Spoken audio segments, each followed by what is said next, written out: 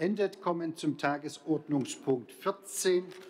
Ähm, hier geht es um äh, Schulartenänderung und wir steigen ein in die Fraktionsrunde, beginnen mit den Dissidenten. Wird das Wort gewünscht? Nein? Freie Wähler, wird das Wort gewünscht? Herr Nitsche, bitteschön.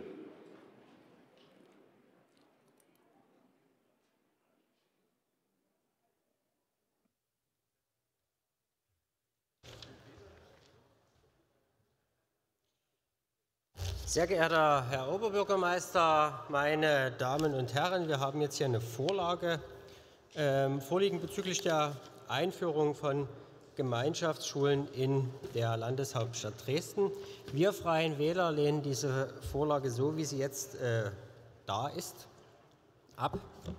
Ich möchte das ganz kurz begründen. Und zwar insbesondere aus dem Grund, dass die Finanzierung unklar ist. Wir haben in der Begründung Kosten von 8 Millionen circa für die 151. Oberschule, die entstehen werden, wenn diese erweitert werden muss, um dort eine Gesamtschule äh, unterzubringen, von circa 37 Millionen, die in der Vorlage vermerkt sind für eine bauliche Maßnahme, um die Unischule ähm, für die Gesamtschule vorzubereiten. Und für beide Summen, die in der Begründung genannt werden, die ausschließlich, äh, die ja bekanntermaßen äh, nicht beschlossen wird, äh, gibt es keine Deckungsquelle. Auch ist ähm, in keinster Weise vermerkt, wo und wie der ähm, zuständige Dezernent, der für den Haushalt zuständig ist, in irgendeiner Art und Weise diesbezüglich in den Prozess eingebunden gewesen ist. Unserer Meinung nach wäre das notwendig gewesen. Wir wissen, dass die Kosten für die Unischule wahrscheinlich noch wesentlich höher sein werden. Es wird nicht bei diesen 37 Millionen, die in der Begründung genannt liegen, bleiben. Mindestens 50 Millionen. Aktuell geht man von Gesamt, von Grobkosten geschätzt von 55 Millionen aus. Und wenn ich äh, bedenke, dass unweit der Schule zum Beispiel das BSZ Elektrotechnik, welches auf einen Umzug wartet, wo es auch einen sehr großen Investitionsbedarf gibt, wo es auch die Möglichkeit gibt, das Abitur zu erwerben. Die 35. Oberschule, bei der es auch einen sehr großen Investitionsbedarf gibt, der immer weiter rausgeschoben wird. Oder auch das Berufsschulzentrum für Agrarwirtschaft und Ernährung, wo es auch einen sehr großen Investitionsbedarf gibt, der auch immer weiter hinausgeschoben wird und so weiter und so fort. Wo es Schulen gibt, äh, die dringend finanzieller Mittel bedürfen. Können wir nicht einfach so diese Schulartwechsel in dieser Art und Weise beschließen? Auch halte ich es für fraglich, dass während des äh, Experiments Unischule, während des laufenden Experimentes der Versuchsaufbau geändert wird. Die Unischule hat sich von Seiten der maßgeblichen Personen noch voriges Jahr dafür ausgesprochen, dass die Unischule eine Oberschule und, äh, Oberschule und Grundschule bleibt. Ich darf zitieren. Die Universitätsschule besteht aus einer Grund- und einer Oberschule. Sie wird in ihrem Vollausbau ca. 750 Schülerinnen umfassen. 2019 wurde mit 80 Schülerinnen in der Jahrgangsstufe 1, jeweils 27 Schülerinnen in den Jahrgangsstufen 2 und 3 und 75 Schülerinnen in der Jahrgangsstufe 5 begonnen. Diese Schule wächst jetzt weiter auf und laut Planung hat sie, laut der beschlossenen Planung hat sie äh, Kapazität für 750 Schüler. Wenn diese dieser Beschluss heute so gefasst wird, wird die Anzahl von 750 Schülern nicht mehr ausreichen, sondern es werden über 1000 Schüler sein, die an die Schule gehen werden und die dementsprechend ein großes Schulgebäude brauchen mit einer Kapazität, wie wir es finanziell nicht untersetzt bekommen haben. Diese Ablehnung der Vorlage soll keine Ablehnung des Projektes Gesamtschule insgesamt sein. Gesamtschulen können funktionieren, auch jahrgangsübergreifender Unterricht, wie er an der Unischule stattfindet, kann funktionieren. Ich kann da aus eigener Erfahrung sprechen. Das geht, auch mit wissenschaftlicher Begleitung. Das geht gut und das kann gut funktionieren, aber es sollte wohl durchdacht sein und es sollte wohl finanziert sein. Und das ist in dem Fall nicht der Fall. Bei der 151. Oberschule und der Umwandlung äh, sehen wir das Problem, dass es im Dresdner Norden weiterhin eine problematische Ausstattung mit äh, Schulplätzen äh, geben wird. Da ist es sozusagen ein Tropfen auf den heißen Stein. Ähm, das spricht jetzt nicht für eine Ablehnung aber es spricht zumindest dafür, dass man auch das äh, kritisch hinterfragen sollte. Und wir sind der Meinung, wir halten den Antrag und den Beschluss, sofern er denn gefasst wird, für haushalterisch falsch und die Unischule bezüglich ihres Standortes und der Konzeptänderung für problematisch. Und aus diesem Grund werden wir diesen Antrag ablehnen. Vielen Dank. Als nächster Redebeitrag CDU-Fraktion Herr Dietze.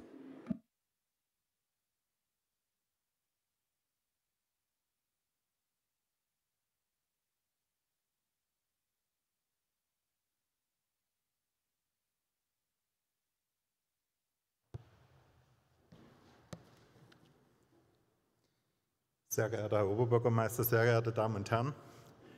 Hinter der Verwaltungsvorlage zur Schulartänderung für die 151. Oberschule und, die, und für die Unischule in die Schulart Gemeinschaftsschule steht der Wunsch von Eltern nach längerer gemeinsamer Lernzeit für ihre Kinder. Damit verbunden ist die Hoffnung auf mehr Bildungsgerechtigkeit, geringere soziale Selektion und mehr Entwicklungsfreiheit für die Kinder. Gänzlich unproblematisch ist diese Idee dennoch nicht. Die größere Heterogenität fordert den Lehrerinnen und Lehrern wesentlich mehr Können ab. Durch die größere Leistungsspanne besteht die Gefahr, dass insbesondere die Förderung von leistungsstarken Schülerinnen und Schülern ausbleibt. Und nicht zuletzt hat PISA gezeigt, dass Gemeinschaftsschulen durchaus im oberen Drittel sich platzieren können, jedoch auch häufig im unteren zu finden sind. Klar ist aber auch, dass wir in Dresden einen Bedarf an weiteren gymnasialen Zügen haben. Insbesondere auf der linkselbischen Seite im Dresdner Norden ist die Situation angespannt. Die Suche nach einem geeigneten Grundstück für den Bau einer eigenständigen Schule blieb ergebnislos. Äh, genau das würde ich jetzt auch Herrn Nietzsche noch mal entgegenhalten. Ähm, natürlich war der Versuch da, ein eigenständiges Gebäude dort zu errichten. Das war aber schlicht und ergreifend aufgrund der Platzsituation nicht möglich. Daher ist die Erweiterung der bereits im Bau befindlichen 151. Oberschule zur Gemeinschaftsschule eine smarte Lösung, die vor allem zeitnah Entlastung bringen wird und es den Schülerinnen und Schülern ermöglichen könnte, relativ wohnortnah zur Schule zu gehen. Wir haben uns daher als CDU-Fraktion für eine pragmatische Herangehensweise entschieden. Wenn der Bedarf besteht und die Schulgemeinschaft den, den Wunsch in Form des Votums eines Schulkonferenzbeschlusses Ausdruck verleiht, werden wir diesem Votum folgen. Für beide Schulen, also für die 151. Oberschule als auch für die Universitätsschule, sind diese Voraussetzungen gemäß der Aussage der Verwaltung gegeben. Die Zukunft wird zeigen, ob diese Schulform den quantitativen als auch qualitativen Erwartungen gerecht wird. Das heißt, ob die Gemeinschaftsschule entsprechend hohe Zahl auch langfristig im gymnasialen Bereich angewählt wird und ob die erzielten Ergebnisse bei den Abiturprüfungen im Vergleich zu den Regelgymnasien standhalten. Beides sind aber auch klar zu errierende Kriterien. Wir werden daher mit großem Interesse auf die Entwicklung der beiden Schulen schauen und der Vorlage grundsätzlich zustimmen. Sorge bereitet uns jedoch die Entwicklung der Kosten bei der Universitätsschule. Nietzsche hat das schon bereits angesprochen.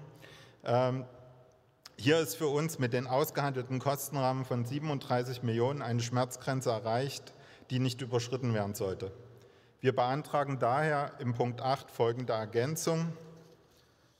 Bisherig lautend, der Stadtrat beschließt die weitere Planung einer baulichen Erweiterung der Gemeinschaftsschule Universitätsschule auf dem Schulgrundstück Hemmerswalder Straße 41 und Höckendorfer Weg 2 in 01189 Dresden. Punkt. Und jetzt die äh, Ergänzung.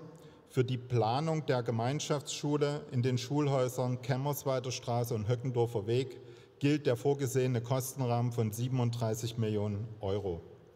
Ich bitte um Zustimmung und danke für die Aufmerksamkeit. Als nächstes Bündnis 90 Die Grünen, Frau Schanitzky, bitte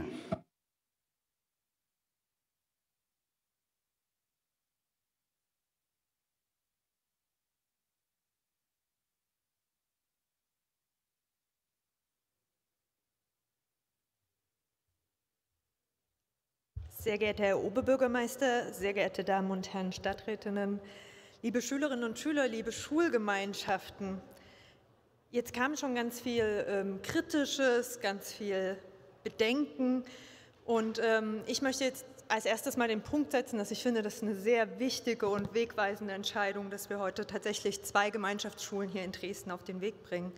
Ich möchte mich an der Stelle bedanken bei allen über 50.000 Bürgern, Sächsinnen und, Sachsen, äh, Sächsinnen und Sachsen, die äh, für das entsprechende Volksbegehren unterschrieben haben. Und ich glaube, das ist auch ein wichtiges Signal, dass so viele Menschen das wollen.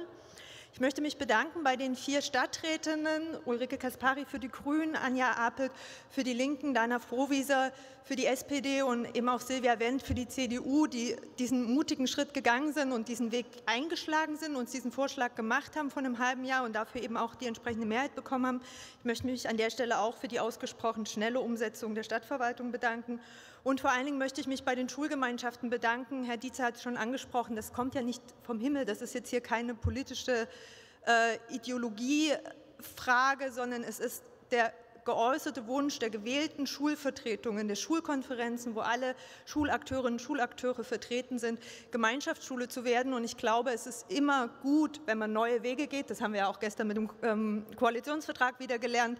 Fortschritt wagen und wir wagen hier tatsächlich auch Fortschritt für die Dresdner Bildungslandschaft. Und ich möchte an der Stelle noch mal ganz deutlich sagen, es geht da nicht darum, jetzt alle über einen Kamm zu scheren und für alle das Gleiche zu erreichen. Es geht aber aus meiner Sicht, und dafür stehen wir Grün, für Wahlfreiheit in der Bildung. Ja, es muss sich was ändern im Bildungssystem. Es gibt da ganz viele Punkte, die nicht allen Schülerinnen und Schülern gleichermaßen gut gerecht werden. Und ich glaube, dass man das auflösen kann, indem man mehr Optionen schafft und indem man, indem man eben auch die Option schafft, eine Gemeinschaftsschule zu besuchen. Und mir ist da übrigens egal, ob die Schülerin dann einen Hauptschulabschluss dort macht, einen Realschulabschluss, einen Berufsschulabschluss, einen Gymnasialabschluss. Das, darum geht es nicht, sondern es geht darum, das Erlebnis zu haben, einen Schulabschluss zu machen und das nach einer guten und wohltuenden Schulzeit, die einen dabei begleitet hat, groß zu werden.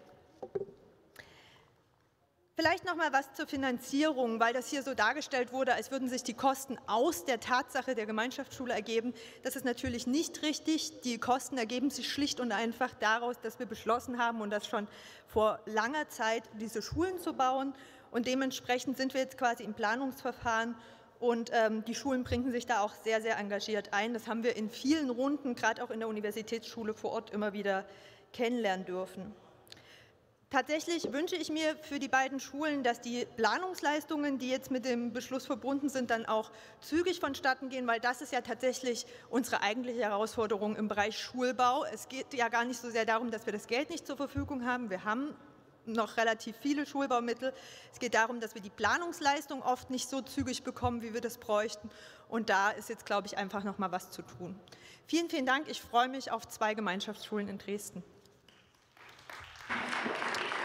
Als nächstes die AfD-Fraktion, Herr Breuer.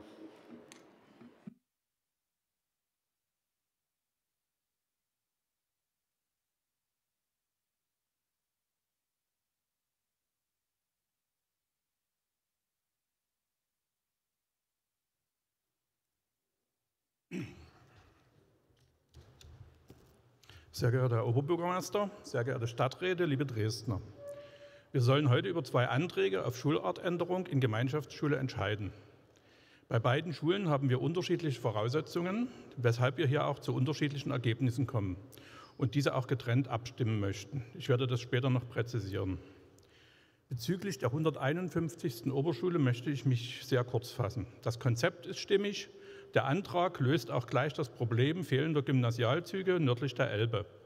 Problematisch wird das Platzproblem, aber auch da wird sich eine Lösung finden. Wir stimmen dieser Schulartänderung zu. Anders sieht es bei der Universitätsschule aus. Auch hier ist der Übergang zur Gemeinschaftsschule mit der Schaffung einer dreizügigen gymnasialen Oberstufe verbunden.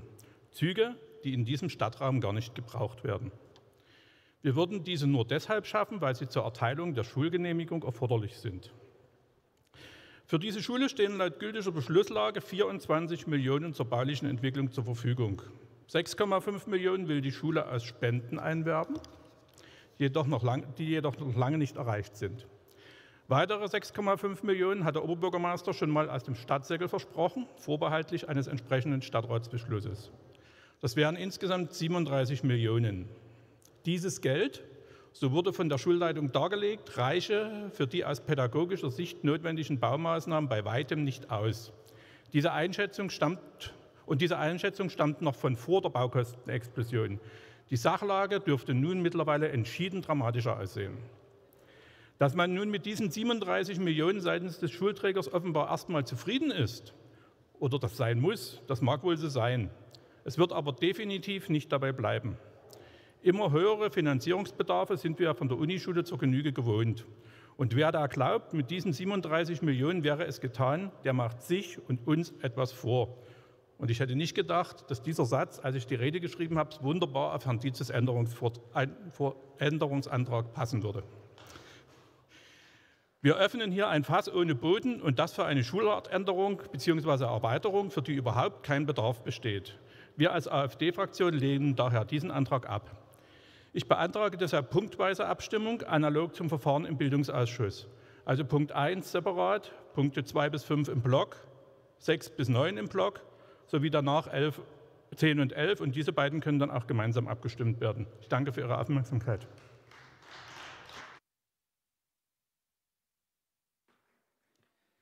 Als nächsten haben wir die Linksfraktion, Frau Abel.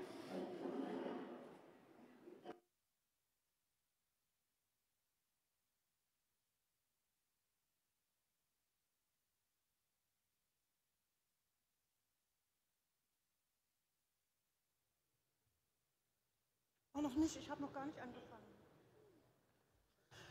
Ähm, sehr geehrter Oberbürgermeister, meine Damen und Herren hier im Saal und zu Hause.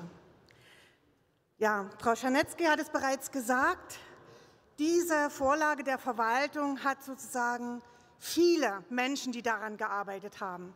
Erstmal die 50.120 Menschen, die den Volksantrag unterschrieben haben und sich dafür eingesetzt haben, dass in der gesetzlichen Vorgabe des Freistaates eine Gemeinschaftsschule vorgesehen wird. Seit diesem Schuljahr ist es möglich. Leipzig hat es schon getan, Chemnitz hat es schon getan und heute wird auch Dresden dies tun. Weiter gibt es ein Netzwerk Nord, was sich für eine Gemeinschaftsschule eingesetzt hat.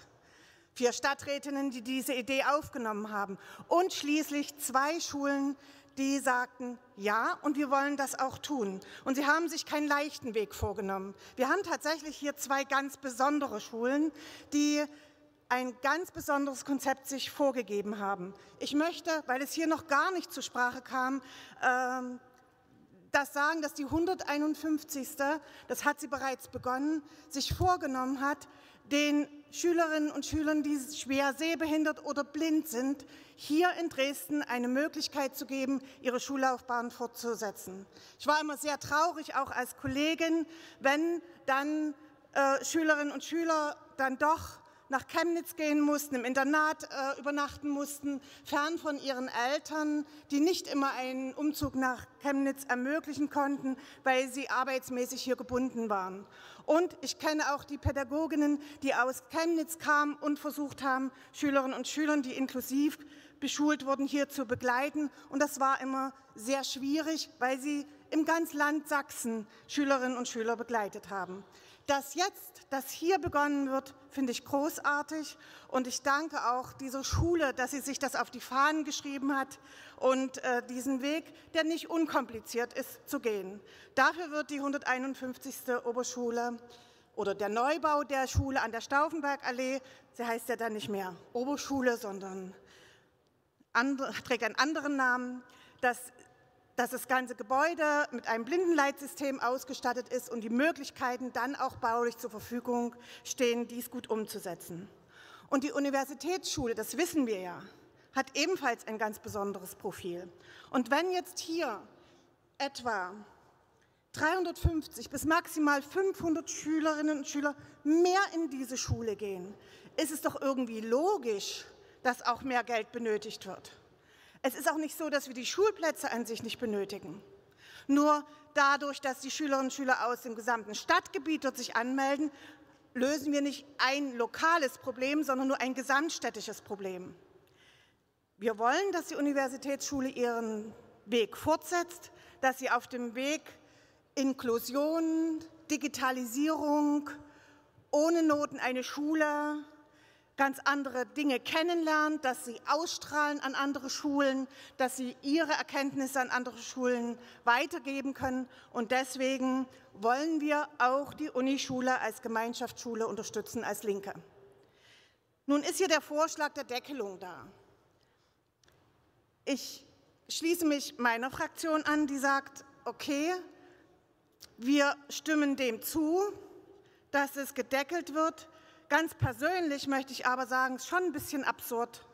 500 Schülerinnen und Schüler mehr, aber die Kosten sind gedeckelt. Das wird eine große äh, Balancearbeit sein, dies zu schaffen. Äh, das wird nicht einfach für die Unischule. Und ich glaube, dass Sie auch da nie ganz äh, stringent sind in Ihrer Argumentation, Herr Dietze. Nun wurden hier noch zusätzliche Punkte genannt. Die zusätzlichen Punkte, die der Bildungsausschuss hier, hier hinzugefügt hat, den finde ich sehr wichtig, nämlich, dass die 151.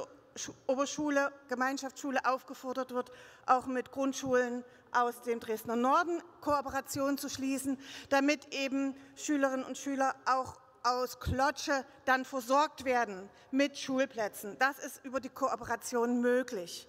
Das hat besonders, haben das die Ortsvertreterinnen aus den verschiedenen Bereichen sich gewünscht. Und wir haben jetzt noch zusätzliche Anträge jetzt von der CDU, denen wir zustimmen werden. Ähm, ansonsten sind wir dabei, allen Punkten des Bildungsausschusses so hier zuzustimmen. Vielen Dank für die Vorlage, Herr Donhauser. Wird SPD das Wort gewünscht? Bitte schön, Herr Treves.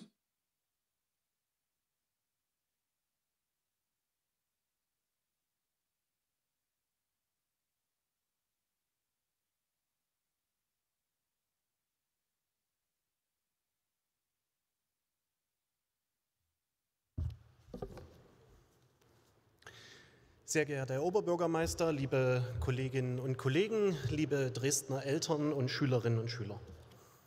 Ich freue mich sehr, dass wir heute hier im Stadtrat die Entscheidung treffen werden, in Dresden zwei Gemeinschaftsschulen einzurichten. Das mag nicht weiter verwundern, denn das Thema Gemeinschaftsschule ist ja seit jeher ein Herzensprojekt der Sozialdemokratie und auch der SPD in Dresden. Ich freue mich aber auch, weil das heute Ergebnis ist eines Volksantrages mit über 50.000 äh, Unterschriften und einer daraus resultierenden Schulgesetzänderung äh, im Sächsischen Landtag, bei dem insbesondere auch die SPD-Landtagsfraktion sehr hart dafür gekämpft hat, dass dies, das Optionsmodell, dass es möglich wird, Gemeinschaftsschulen im Freistaat einzurichten, Teil dieses neuen Schulgesetzes wird. Und ich freue mich aber auch, weil wir damit endlich den Startschuss dafür geben, dass längeres gemeinsames Lernen auch in Dresden Realität wird und auch in Dresden eine Möglichkeit wird. Gemeinschaftsschulen bedeuten, dass eben nicht mehr nach der vierten Klasse ein Schulwechsel ansteht. Da werden eben keine Klassen mehr auseinandergerissen und da braucht es eben keine Bildungsempfehlung mehr, die zu so einem frühen Zeitpunkt sowohl die Eltern als auch die Schülerinnen und Schüler oft einfach überfordern, diese Entscheidung zu treffen. Eine Gemeinschaftsschule ist aber auch ein Stück weit äh, eine Aufhebung des gegliederten Schulsystems und damit endlich ein Ende der Einsortierung in vermeintlich starke und vermeintlich schwache Schülerinnen und Schüler und eben die Trennung dieser beiden vermeintlichen Gruppen. Natürlich, da ist in der Debatte schon mehrfach darauf hingewiesen worden, braucht es für eine Gemeinschaftsschule ein anderes Konzept, als das in den klassischen Schulen der Fall ist ähm, individuelle Förderung, die viel mehr auf die Stärken und Schwächen äh, in einzelnen Bereichen von Schülerinnen und Schülern eingeht, aber auch eine gegenseitige Hilfe und Unterstützung der Schülerinnen und Schüler in den Klassen, eine gemeinsame, ein gemeinsames solidarisches Herangehen an den Lernprozess. Das sind Teile, die in diesem Konzept äh, verankert sein müssen, wo ich mir aber weder bei der einen noch bei der anderen Gemeinschaftsschule Sorgen mache, dass das nicht funktionieren würde. Gemeinschaftsschulen insgesamt geben eben auch Schülerinnen und Schülern eine Chance, die sich noch nicht vierten, zum Ende der vierten Klasse so zeigen konnten, dass klar ist, welchen Abschluss sie am Ende tatsächlich anstreben, welchen Abschluss sie erreichen. Und genau für diese Schülerinnen und Schüler ist das eine sehr gute Chance und deswegen sollten wir diese Chance an dieser Stelle mit der Entscheidung heute hier ergreifen. Es ist auch schon in der Debatte darauf eingegangen worden, die Voraussetzungen für die heutige Entscheidung sind gut. Wir haben zwei Schulgemeinschaften, die sich dafür ausgesprochen haben, äh, Gemeinschaftsschulen zu wehren. Ich möchte an dieser Stelle auch noch mal ganz namentlich äh, sowohl der Frau Bankert als auch der Frau Hess, den Schulleiterinnen der 151. Oberschule bzw. der Universitätsschule, danken, dass sie diesen Prozess angestoßen haben, dass sie ihre Schulgemeinschaften davon überzeugt haben äh, und mitgenommen haben und diesen Anstoß dann auch hier in den Stadtrat getragen haben, damit wir den aufnehmen können. Ich möchte aber auch noch mal darauf hinweisen, dass in allen Ortschaftsräten und allen Stadtbezirksräten, in denen diese Vorlage war, sie eine überwältigende Mehrheit gefunden hat ähm, und es da wirklich nur sehr wenige, sehr vereinzelte andere Meinungen gab. Also auch die Kolleginnen und Kollegen in unseren Gremien vor Ort begrüßen diese Einrichtung äh, der Gemeinschaftsschulen und wollen das gern. Ich glaube, die Diskussionen in unseren Gremien, äh, im Bildungsausschuss, insgesamt in den Gremien des Stadtrates, die sind breit und gut geführt worden. Die wichtigsten Fragen und die, die Fragen, die als Voraussetzung äh, für die heutige Entscheidung offen waren, sind beantwortet worden. Ich glaube, die letzte beantworten wir dann heute mit der Ergänzung von der CDU, die wir auch mitgehen werden. Und damit haben wir, glaube ich, wirklich gute Voraussetzungen, um äh, heute hier zwei Gemeinschaftsschulen einzurichten. Und ich würde mich freuen und fordere Sie auf, liebe Kolleginnen und Kollegen, lassen Sie uns heute gemeinsam den Schülerinnen und Schülern in Dresden, aber auch den Eltern die Möglichkeit eröffnen, an eine Gemeinschaftsschule zu gehen, beziehungsweise ihre Kinder an einer Gemeinschaftsschule beschulen zu lassen. Das wird ein wertvoller Beitrag und eine wertvolle Bereicherung für unsere Schullandschaft in Dresden sein. Vielen Dank. Und zum Abschluss der Fraktionsrunde Herr Fischer für die FDP-Fraktion.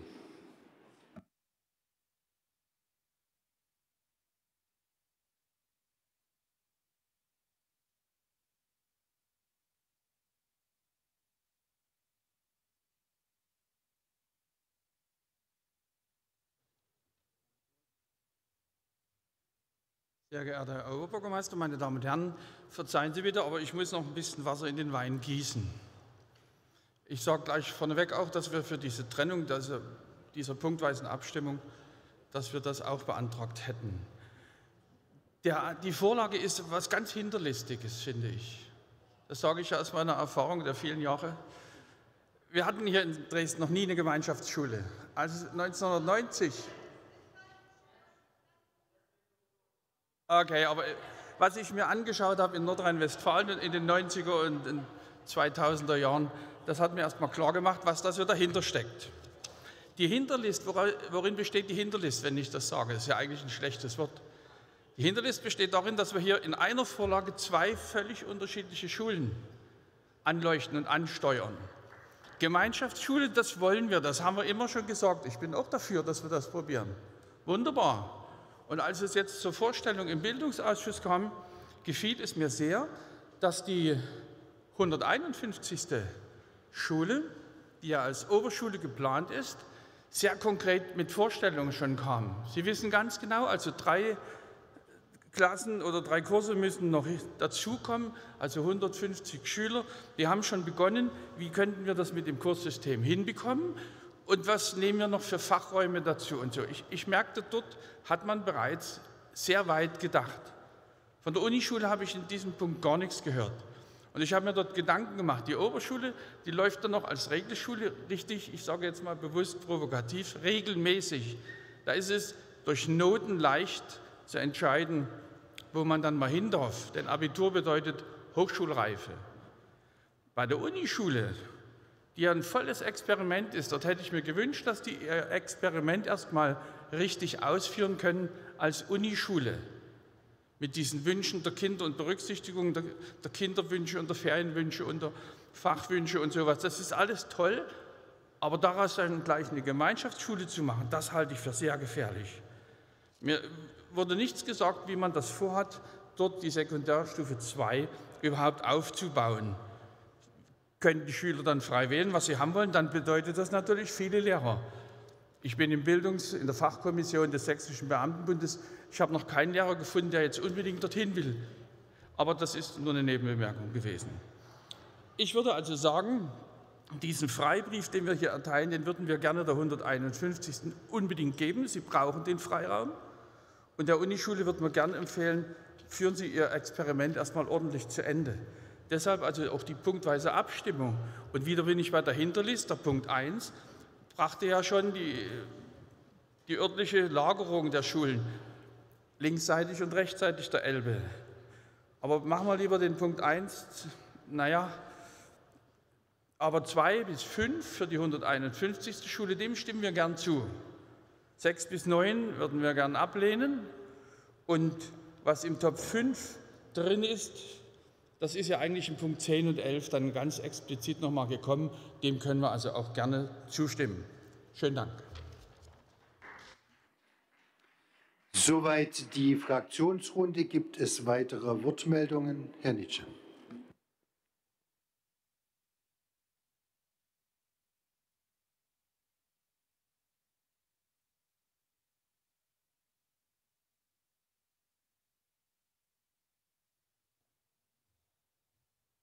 Ja, sehr geehrter Herr OB, meine Damen und Herren, ich möchte noch mal kurz ein paar vor allen Dingen finanzielle Hinweise geben.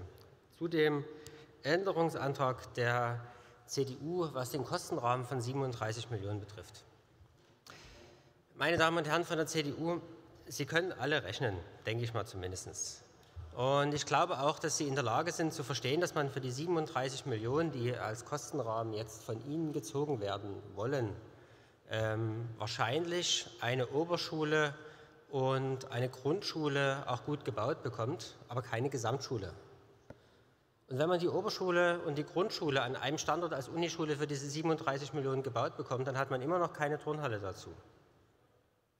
Und da wollen Sie jetzt eine Grenze ziehen. Sie wollen also, dass bei diesen 37 Millionen Schluss ist, dass es keine weiteren Ausgaben gibt, auch nicht für die Sportplätze, auch nicht für die Turnhalle, auch nicht für andere Sachen, das halte ich für eine sehr gewagte, ähm, sehr gewagte These.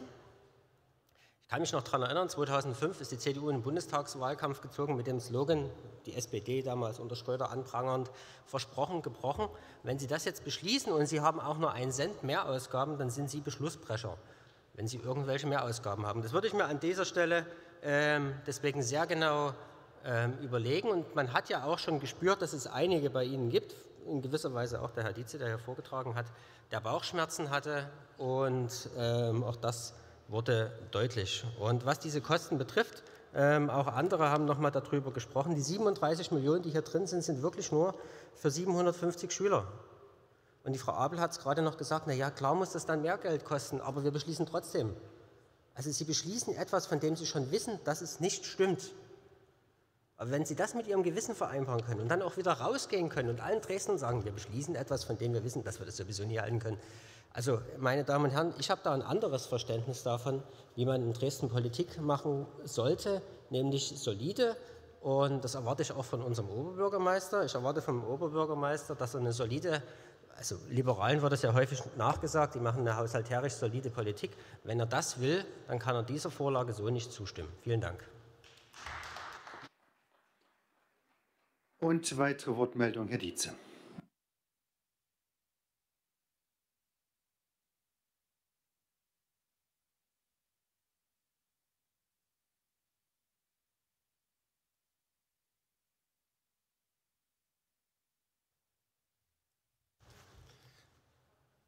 Herr Nietzsche, das ist vielleicht das Problem, wenn man Ergänzung mündlich einbringt. Ähm, in, dem Ergänzung, oder in der Ergänzung stand ausdrücklich äh, Schulgebäude.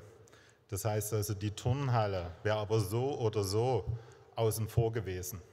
Also insofern, ähm, natürlich äh, kommt eine entsprechende Sportfreianlage noch dazu und auch entsprechende ähm, Betätigungsräume für den Sport müssen noch geschaffen werden, aber die waren sowieso nie Teil dieser, Rahmen, äh, dieser Planung. Also sie waren immer äh, schon draußen dass die möglicherweise jetzt größer dimensioniert werden müssen durch, die, äh, durch den hohen Bedarf ähm, oder durch den höheren Bedarf, der durch eine Gemeinschaftsschule entsteht, ist klar. Aber da sind wir eben genau bei dem Punkt. Wir sehen eben hier diesen gehobenen Bedarf. Und äh, wie gesagt, ähm, ja, die, äh, die entsprechenden Sportanlagen werden noch dazukommen, aber das wäre so oder so. Danke. Weitere Wortmeldungen sehe ich nicht. Dann äh, steigen wir ein in die Abstimmung.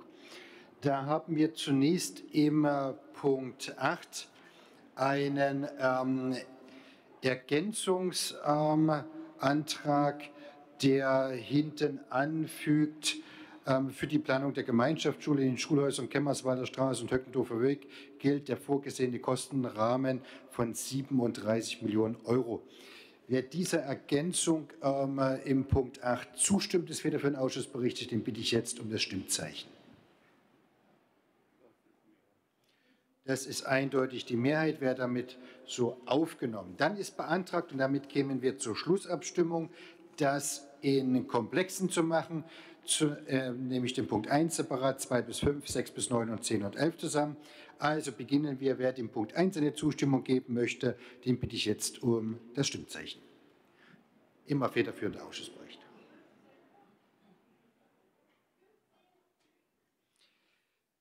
Gegenstimmen?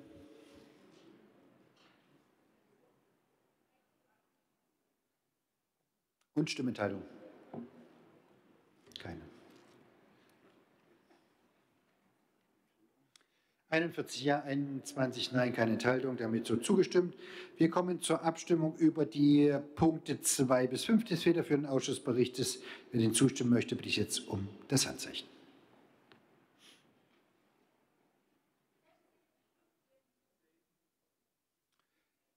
Gegenstimmen? Stimmenthaltungen? Vier Enthaltungen, keine Gegenstimme und und 59 Ja-Stimmen damit so angenommen. Wir kommen ähm, zur Abstimmung über die Sek Punkte 6 bis 9. Wie gesagt, der Punkt 8 äh, ergänzt, wie wir vor uns gerade beschlossen haben. Wer dem zustimmen möchte, bitte ich jetzt ums Handzeichen.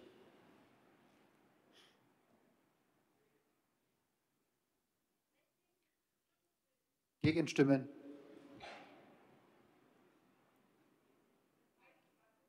Und Stimmenthaltung? Keine Stimmenthaltung. 21 Gegenstimmen, 42 Ja-Stimmen, auch so beschlossen. Und dann bleiben uns noch die Punkte 10 und 11.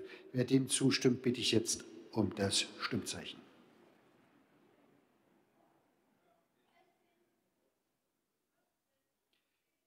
Gegenstimmen und Stimmenthaltung.